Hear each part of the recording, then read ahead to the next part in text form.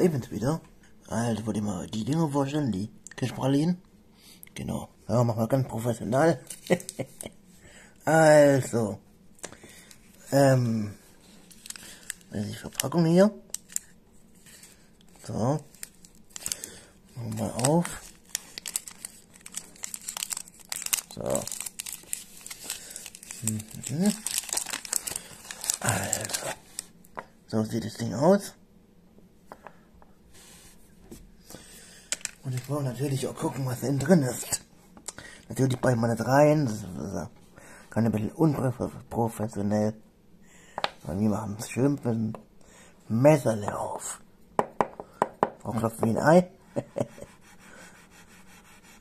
ja, die Messer ist ein bisschen stumpf. Aber es geht. Dann doch irgendwie. Also, da läuft schon raus. Aber egal, putze den Tisch nachher.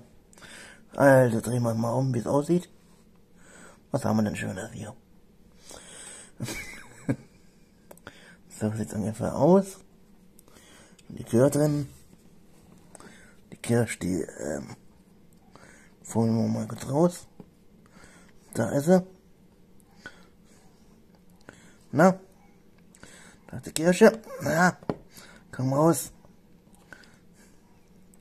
Da ist die Kirsche.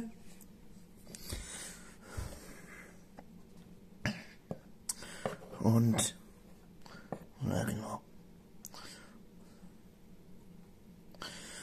Die Füllung, die gerade rumschwimmt. Aber man muss halt auch mal gesehen haben, ne? Man beißt da rein und das Ding ist weg. Jetzt sieht man mal, wie es so aussieht. Und man kann es mal aufmacht. Und da ist eigentlich nichts außer Schokolade noch. Genau. Alles soweit links.